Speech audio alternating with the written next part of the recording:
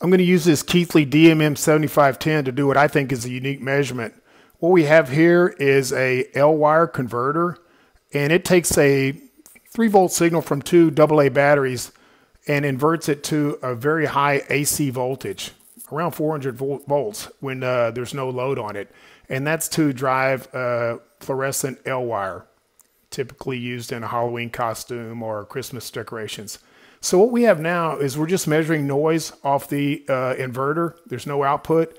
I'm going to turn this on, the uh, converter on, and I have the 7510 set to trigger at 100 volts. So we're going to turn the unit on and the 7510 is triggered. You can see the unit's on.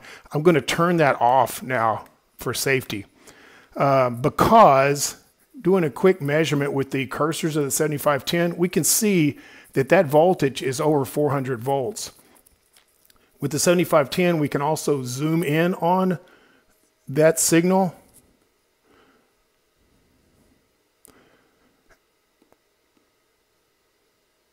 And take a look at the frequency of that, the ringing from the AC on the inverter. And it looks like it's about,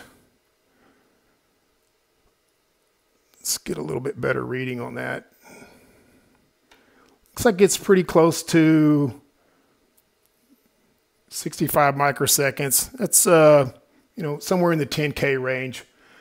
I'm going to go back to full scale and there's something about this signal that's that's interesting. We've got this big 400 volt signal, but if we zoom in on this right before this 400 volt signal, we find something pretty interesting. So I'm going to do that. I'm going to zoom in.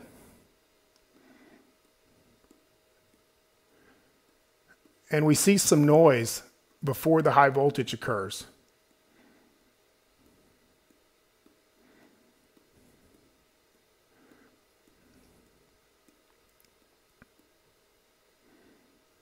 And I'm going to turn some cursors onto that.